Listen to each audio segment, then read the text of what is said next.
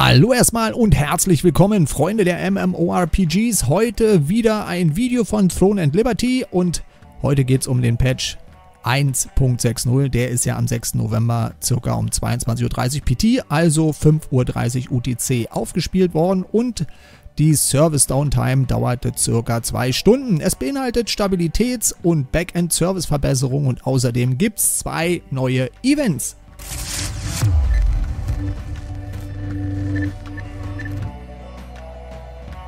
Das erste neue Event, Steuerlieferungsereignis, so heißt das. Und äh, da müssen Gilden versuchen, ihre Steuerlieferung, die sie aus dem Gebiet eingenommen haben, zu verteidigen. Das Event funktioniert folgendermaßen. Es werden von der herrschenden Gilde erstmal alle ersten Verteidiger ausgewählt, äh, die die Steuerlieferung dann halt planen und starten können. Also das heißt, die regierende Gilde kann die Steuerlieferung zwischen 14 und 1 Uhr der lokalen Surferzeit planen. Und wenn ihr wissen wollt, wann und wo und wie das funktioniert, dann schaut mal auf die Karte und prüft dann den Zeitplan unter täglich, da sollte das dann drinne stehen.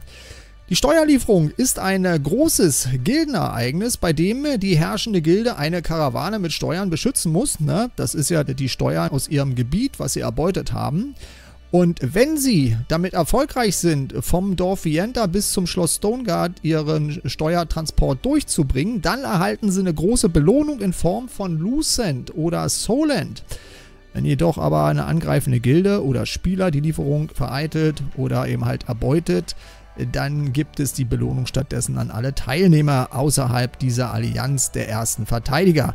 Im Detail, jede Steuerlieferung beginnt damit, dass die herrschende Gilde ein Mitglied auswählt, das zum Steuerlieferungsgolem wird, nennt sich Titan Cargo, hat auch mächtige Fähigkeiten, um sich gegen die Spieler zu wehren.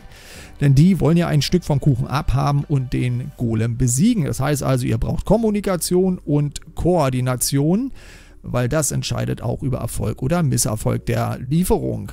Die angreifenden Gilden müssen, um den Golem zu besiegen, den Sealing Stone zerstören, aber, und jetzt kommt das große Aber, der Titan Cargo, der ist ja nicht ganz wehrlos, denn der ist geschützt durch Barrieren, der hat Bombenträger, der hat Arceum-Ritter und auch die Debuffs von dem Chaos Golem sind nicht ganz ohne. Das heißt also, ihr müsst euch hier gut vorbereiten, um die Steuerlieferung zu stoppen.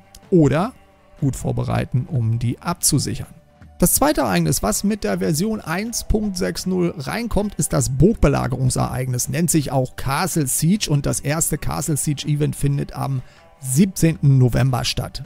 Das ganze Event funktioniert folgendermaßen. Zu Beginn der Belagerung haben die Gilden also eine Zeit von 45 Minuten, um den Sieg zu erringen. Und äh, die Angreifer, die müssen in die Burg stürmen. Dabei müssen sie halt auch die Tore durchbrechen, um den Thronsaal einzunehmen. Ja, aber wenn ihr jetzt denkt, dass das einfach ist, dann glaubt mal, wird es nicht sein, denn da gibt es ja auch die Verteidiger und die werden euch die Hölle heiß machen. Sollte also nach Ablauf der Zeit, also von 45 Minuten, äh, das ganze Territorium bzw. der Thronsaal noch umkämpft sein, dann geht das in eine spannende Verlängerung von jeweils drei Minuten. Und äh, das kann natürlich über den Ausgang der Schlacht dann halt auch entscheiden, weil in drei Minuten kann in solchen Situationen viel passieren. Was also sehr entscheidend auch in dieser Burgbeladung ist, beziehungsweise auch sehr unterstützend wirkt, sind die strategischen Orte wie Belagerungsruinen. Denn die Eroberung dieser Ruinen bietet nicht nur Teleportations- und Wiederbelebungspunkte, ne, sondern äh, ihr als angreifende Gilde könnt auch mächtige Belagerungsgolems beschwören.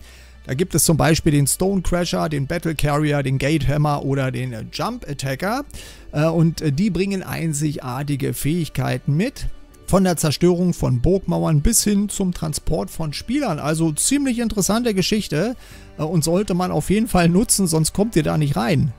Wichtig ist, dass der Angreifer sich erstmal im komplexen Grundriss des Schlosses auskennen muss.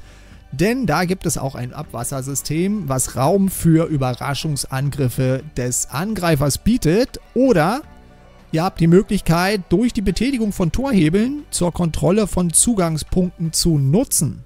Die interessanteste Sache auf dem gesamten Schlachtfeld sind die verstreuten Plünderungssteine und Auferstehungssteine, denn die bieten die Möglichkeit, Ressourcen zu stehlen oder eure Position zu stärken. Ja, wenn ihr euch dann halt mit den meisten Gilden gut absprecht und koordiniert, dann wird es einige Gilden, die sich dann darauf konzentrieren, die Macht im Thronsaal zu übernehmen, während die anderen angreifenden Gilden ja, die Gründungssteine oder die Auferstehungssteine einnehmen, um Solent und Lucent aus dem Schlossgewölbe zu stehlen, auch wenn die herrschende Gilde die Kontrolle behält. Das heißt also im Umkehrschluss, dass ihr ja, mit ein bisschen Geld und Lucent nach Hause geht, wenn ihr trotzdem die Belagerung verlieren solltet. Ja, und hier kommt dann auch die Strategie und die Taktik ins Spiel, genauso wie, was darf nicht fehlen, die Politik. Ne? Ihr müsst also Allianzen bilden, um gemeinsam zu herrschen oder gemeinsam zu erobern. Das war es auch wieder von mir mit dem Patch 1.60. Wir sehen uns im nächsten Gameplay angespielt oder im nächsten Livestream. Macht's gut, tschüss.